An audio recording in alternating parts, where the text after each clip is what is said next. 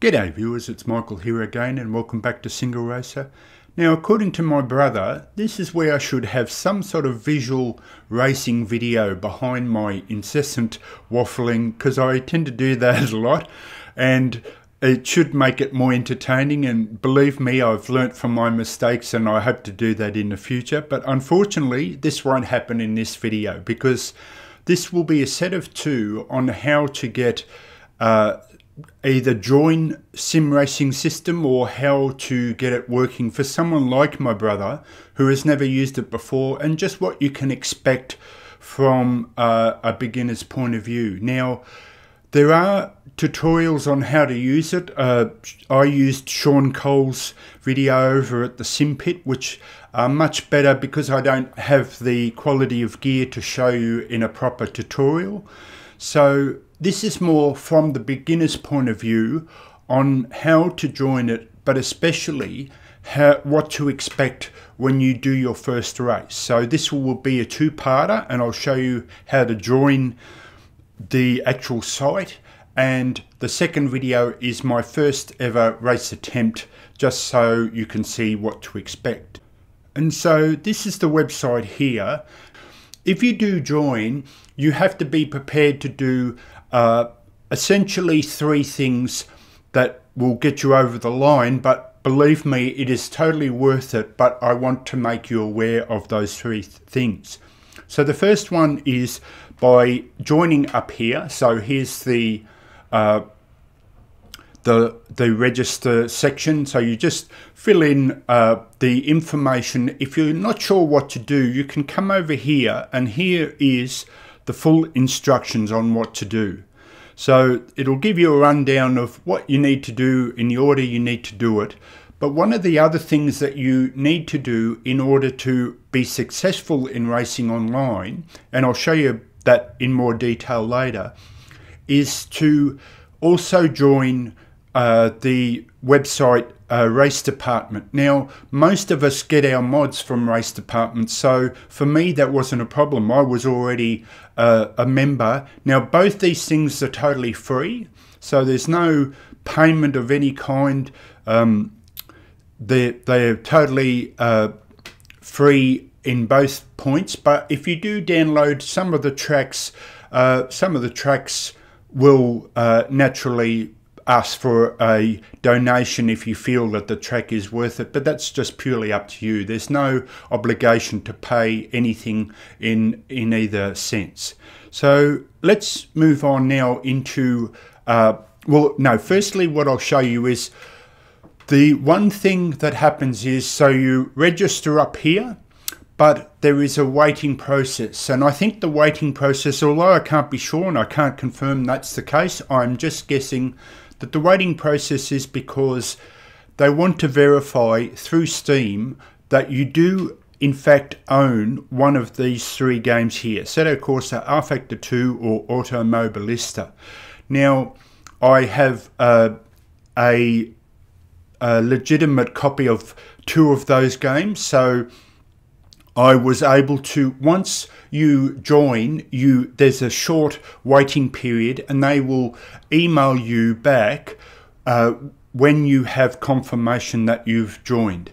And because that happens then then you can download the actual app for uh, the game that you have in Steam. So whichever game you have or multiple games you can then download the app uh, which is just like any other app or mod for Assetto Corsa, uh, and you just install it the same way, and it and it runs perfectly fine. So let's go to Assetto Corsa now, and I'll show you that in more detail.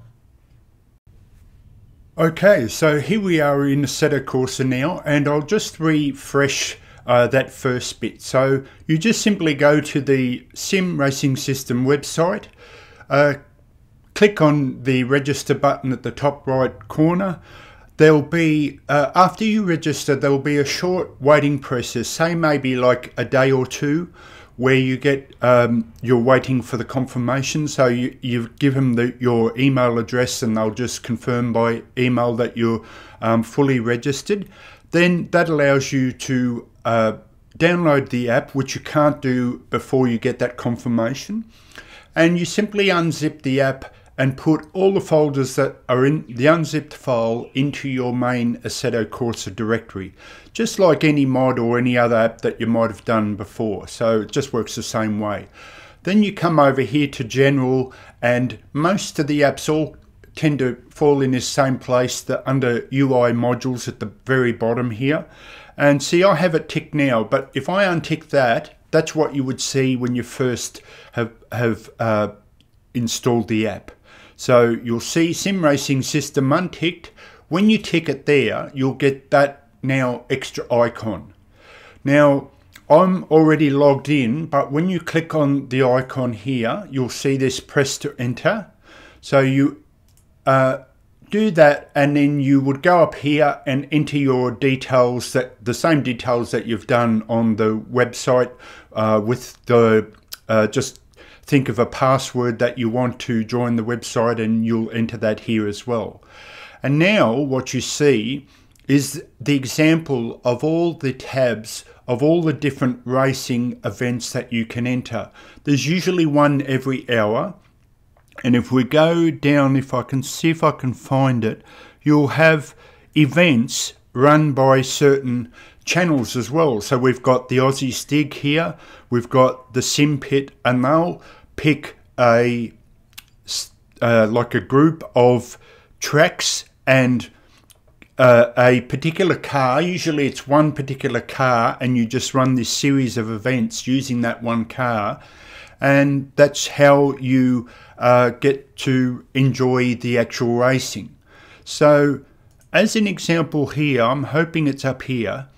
This is why you need to join a race department because here's an example now.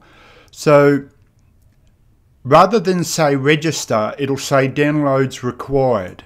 And what it's showing you here is the tracks that you need to enter, assuming you wanted to enter all these events. Now you don't have to. You, I've just run. Uh, I in the race that I will show you in the second video. I missed the first event, but it doesn't matter. You can just join for the enjoyment and the competition. Uh, you could join midway through if you wanted to. It just means you wouldn't win the championship, but uh, you'd still get the enjoyment again, uh, of racing against other people.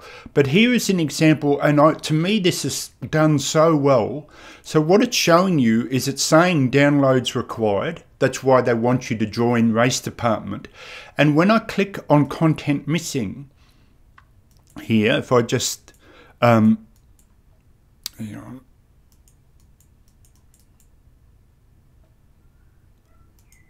Oh, sorry. Okay, so I click on um, downloads required, and it will take me to uh, the website, the sim racing um, website, and tell me what uh, car, if I need a particular car. So, in other words, if I don't have um, all the uh, the packs for Assetto Corsa, or in my case with the race that I did in, that I'll show you in the second video, I didn't have that particular mod car. So it'll show me the car that I need, plus also any missing tracks. So if you have a track already that is a mod track that you've just downloaded for your own enjoyment, it won't be in the list, but it'll list every other track that um, you need. Actually, I'll stand corrected. It could show you the track even if you've got it, but if you know you've got it, you know you know you don't need to download it. So sorry about that. It will show you the track of every track that you need in the series, but um, it's up to you to know then if you have it already installed. But you know they're only small files, so you could download them all anyway just to double check. Uh, or in some cases, say like with Donington Park, you might have version one, and in order to race the event successfully, you'll need the most current version, and that can often be a beta version. So there's a great example. The Paul Ricard is a beta version, hasn't hit version 1 yet, and that's why when you go to Race Department and join, you might get the little thing to say, if you want to, please donate. We want to try and get this to the full version and it costs money to produce it. That's totally up to you, but both things are totally free. but you will need to join both sim racing system and race department to do this process. Now, if we go back to here, so here's here's the first part of it. Now the the race I'll show you in the second video is this one here, the MTX thing. Now this is the uh, would be the third race, and if you ever want to know what uh, what uh, the is required, you can just click on these little buttons here, and they'll give you a full rundown. So as an example,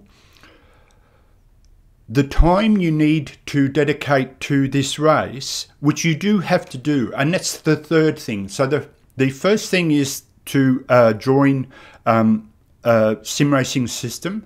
The second thing you need to be willing to do is to join race department, uh, but only purely to download the mods if you need them. And the third thing you need to be prepared to do is is to be willing to set aside that time. So in my case here, the qualifying length is 10 minutes and the race length is 20. So I have to say, yes, I'm willing to dedicate that 30 minutes aside, as well as the lead up time, um, to that. But if you race for enjoyment anyway, you usually want to do that anyway, so that's no problem. But in some cases now, I'll see if I can find it. Um, it's good to check like here. Okay, so this is the GT Cup one, and this one is one hour length. So in that case, apart from the fact that I didn't uh, enjoy particularly those two cars. So the M3 up here, I don't particularly like driving. That's just personal choice, and that's purely not because the car's bad or anything against the mod or the or the actual event or anything. It's just purely because I don't have uh, a top end wheel, which means I struggle with um, twitchy cars. So uh, you know you can keep that in mind. You don't have to join any event, every event, anything like that you can just in, uh, join the one event like I did here, the MTX, and take it from there. So what I suggest here is uh, to join the event, you simply click on the register button. Now, uh, probably the best thing to do that is just say maybe an hour beforehand. And what you can do is, if you see here where the mouse is, there's only um, there's no people joined up yet, and that's probably because it's too far away from the race. So what you could do in in that regards is, uh, sorry, I'm trying to go to my screen here. If we just go here is, if you've got something like this, the clock here, or any sort of reminder screen that can give you an alarm to tell you that it's 15 minutes before the race uh, just a reminder to register, and that's how I do it. And then when you come back, you'll see. So, so in this first event here, you've got 17 people already registered, already ready to race, and you can um, even use that as a guide to whether you want to race or not. So in the second one, you've got the three here. Uh, in the one that I'm in, um, there's no one yet, but it's probably because it's too far out. Okay, now what I'll do is um, please keep in mind I'm a total beginner at this as well. I'm, I've only raced the one event, but I have done it more than once. So I'll explain what happened to me in the sense of what you can see um, use, and I'll use static screens to help explain this but it's slightly more common to me because I have been racing quite a lot online and I'm aiming this at my brother who's a total would be a total beginner to this. So I just want to make you aware of what you will see when you do your first race. And if you've never raced online it can seem very strange what actually happens the sequence. So I'll just run through that. So for the people that have already raced this or raced online um, sorry this this will be quite boring but uh, I'll just run through it anyway. So what I can't be sure of and what I recommend is so if we imagine that this third one here so I'll bring it to the top says one hour to go. What, what I recommend is that you set your alarm for five minutes beforehand and you can then see how many people have joined. Um, so what I mean by that is if no people have joined, which I find very surprising, but just in case there were none, none you might not want to race against yourself. So you could determine whether that's a factor of joining or not. But it would also mean you come first, so that that could be a, a, a plus right there. But uh, what happens, and I just can't remember if if it's uh, goes to zero here and then you have the three minutes but i I'm pretty sure it's three minutes left so in other words as it counts down to zero there'll be a three minute process where you can after you and this and this is after you've registered so you click on this you register with your name uh, you'll pick your car and your car uh, livery color and then there'll be a three minute window where everyone joins just before the race. So you must join in that three minute window. And I am saying this uh, carefully, but my understanding is if you've registered and you don't join, um, there might be a two day penalty where you can't um, join any races uh, for the next two days. So don't hold me to that, but that's my understanding. It's simply, it's just like if you booked an appointment at a doctor or somewhere and you didn't turn up, uh, they've set you aside.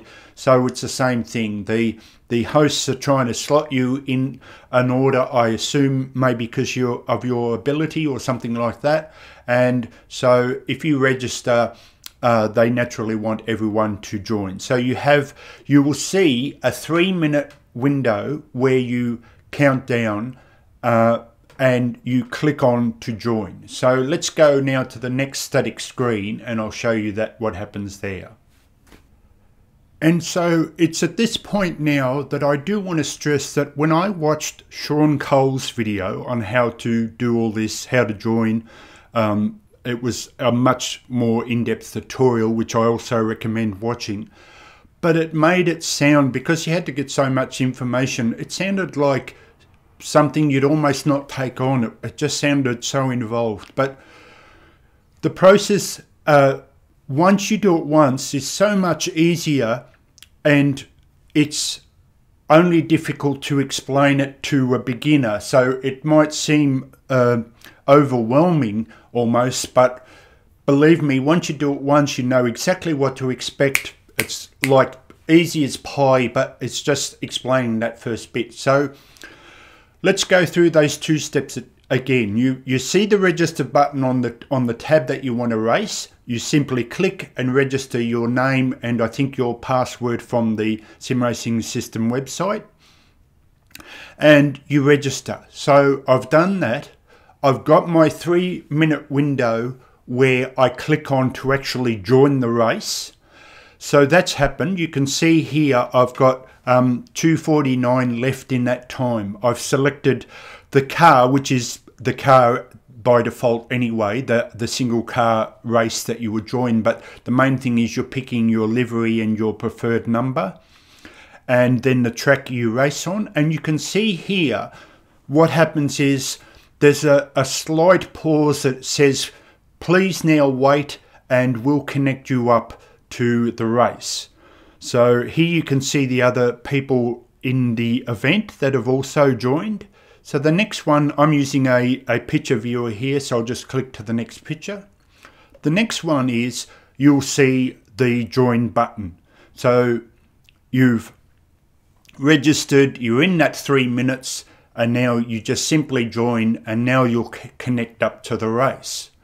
So that's the next bit then you end up in the pitch here. Now, if you look at the top left uh, of the screen, I can't use my mouse because I'm in the picture viewer, but you'll see the practice, which is not qualifying. So you could just go out, warm up the car, get yourself warmed up, get familiar with the track, uh, load any settings that you have, all that kind of thing. But there's this weird thing that happens is because of the way a server works is you have this strange pause between the three events. So practice, um, which you won't get a lot of time anyway. It's it's simply the time left from that three minutes when you get to join. And then you'll have qualifying, which is in this race the 10 minutes, and you can check by ticking on the tab there to see how much qualifying time you have. And then you'll have the 20 minute race. So if I click now to the next screen, um, you'll see that I've gone out in practice mode I've I've just parked the car, so I'm not in the way, of course, of anyone still racing. But you'll see at the top of the screen above my mirror the word overtime. And that's the weirdest part if you've never done this before, is what happens is there's this the delay, you'll get a message on, in my case, I'm using um, Sidekick, so I'll actually see a session ends message in, in Sidekick, which is brilliant. And if you don't use Sidekick, you'll just see the overtime message there at the top of the screen, just above the uh, external mirror there. And basically, what that's what that is telling you is the practice has end, um, ended, sorry, and the server will now reset. So there's this strange dead time in between. And what will happen is you'll see the screen itself slowly go black and reload. So we'll go that to that next screen. And now you'll see what happens is you can load your new, say, like if you had a preset qualifying time. And um, an example of that is where you had the lowest fuel possible to do two or three laps to qualify at your best time. That is different to your race setup, which you might have um, then the full fuel to make sure you can cover the laps. So you can do that in this period. But what you notice on the top right, uh, sorry, left hand side there is my wheel is grayed out. And that's because it's doing a countdown to say we're setting up now the time for qualifying. Here is uh, just a pause to load anything you feel you need to load.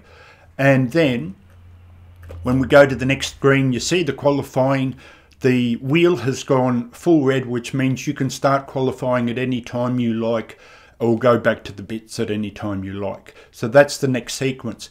Then um, you'll get the same thing again happening um, where the qualifying will end. You'll get an overtime message or a session end message, something similar to that.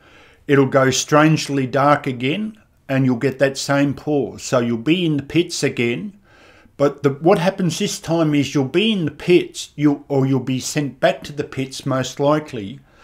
And in that period where, if I go back one, say where you've got that wait time again, and you go, but hang on, I'm in the pits. Why, why am I in the pits? Shouldn't I be on the? Should I drive out on the racetrack, or I'm not sure what to do? What the what the server does is in that period it sets you up, and then you'll find yourself out on the out on the track and um, on the start finish line in your position that you qualified in, and then you'll be ready to race. Except that there'll be like maybe ten to twenty seconds. That's a countdown, and what you do is you simply wait for just like in Formula One or if um, V8 supercars here, you'll wait for the red lights to come up so you get, you know, your typical red lights, um, red, red, red, red, then they go out, go, and then you start the race. So when the qualifying ends and you're sent back here and you go, should I be driving out? No, you don't have to. The server will automatically set you in your position, in your qualifying position on the racetrack, ready to go. So don't be alarmed, just sit and let it all happen, and then you'll be ready to race. Okay, so now we're back in Assetto Corsa for the final wrap up, and just one other thing I wanted to mention uh, about this um, app because when I watched Sean Cole's video, uh, which is a much more in depth video, if you don't know Sean Cole, he, he runs the SimPit channel, and it's a you know very high end uh, website and um, or channel, sorry, and I don't have that kind of gear to do that. So my uh, tutorial is more based about what to expect from a beginner's point of view, but I highly recommend seeing that video. The other thing from a beginner's point of view is the hosts were extremely helpful. I sent at least three or four emails just to get familiar with what to do at the start. So if you have any questions that I don't cover, just go to their contacts page on the website and they'll help you out, no problems. They tell me that they encourage uh, beginners to join, so it's not just the top end guys. If you feel worried about joining as a beginner, what they recommend is when you go out for the qualifying, go out and have fun and get, you know, race around the track so to get familiar with the track, but just don't um, try and set a time. And then what will happen is you'll get put back at the back of the grid deliberately, and you can let the others zoom off and race amongst themselves and you can then just slowly go off and enjoy the competition side of it. Where you're still racing against real people but you're not under the pressure of maybe being in the mid um, car pack and having cars all around you and being so worried about it. Just let them go off and enjoy your own race. And what usually happens is uh, I can almost guarantee is three or four of them will crash against each other and you'll get a top 10 win just maybe by default. So enjoy it from that process. So let me run you again through um, a race because I have uh, joined a race today. So you've gone to the website, you've registered, you've waited that little period just for the confirmation. You'll get the confirmation email when you join. Join up with um, race department to download any missing tracks. And so you've installed the app into Assetto Corsa. This is what Assetto Corsa normally looks like here with the little red tabs. When you tick the sim racing system after installing the app, you get the icon. Now, when you click to go to a race, the reason you get this is because it's not like a tab, a normal tab in Assetto Corsa that's just another page of the game. You're actually connecting to an internal um, view of the website. So we've actually now connected to the website. I look here to which race I want to join. And what I've done in the next video is I'll show you the Mugello race. But now, because it's the next week, so it could be the next week or the next couple of weeks, I'm, I'm not 100% sure of that. But in this case, it was the next week. I get to next, I get to race the next race at Nürburgring. So I've put a reminder uh, a little alarm to say five minutes beforehand um, the race is ready to go. Register to that, and um, but the one thing that I want to mention is if you look at the other cars and you feel overwhelmed. So I don't have high end racing gear. So I was a little worried about racing these top end kind of cars because uh, I wouldn't be able to control the car well enough to feel like I could compete. But that's where, to me, this is even more worthy to join, is because even if you race Mugello once, you can race it over and over again. So when I started, I got, I think, I got 10. So I don't know if that's 10 points or 10 um, something, but you get your initial points, but that doesn't mean you have to not race it again. You can race it over and over if you want. You could race it 10 times and just like iRacing that have that racing ranking, you can build your points up that way. And so you don't even have to race a whole the whole sequence of the calendar. You could just do two tracks. If um, I'm very good at the Nordschleife, if there's a Nordschleife event, I could just choose that but not race any of the others. So there's nothing forcing you to race the whole event outright. You can just pick and choose any race you want to join. So let me now go to the website site and show you how that works from that point of view. So I've logged in now, but if you weren't logged in, you couldn't view this page. So you just log in again. And here's their version of where you can go to the website and see the daily schedule. So it's the same thing as we just saw in game. But now I can go to the standings. So I've raced a couple of races. I've got initial points. So how um, do I do? So I'll be taken to this page where I see the rating for the three specific things road, oval, and off road. I can then, I know I've only driven a racetrack, so which is road, and um, I can click on my ranking. And when I first raced the single race, I was 2883, I think. And because I've done a second race, um, I have uh, added points to my ranking. So if I I will be listed here in in uh, against everyone else. So Sean Cole, the Aussie, Stig, they'll all be here in this uh, list, assuming they um, they this is their event. So they might not be in this list, but the events, some of the events they evented themselves. And if I just do a quick search here, I can also do this where I can go to my name here. Sorry if I do that. Um, and go down and click on my name and I'll get an even uh, more detailed explanation of my the points that I've got for every race that I've entered.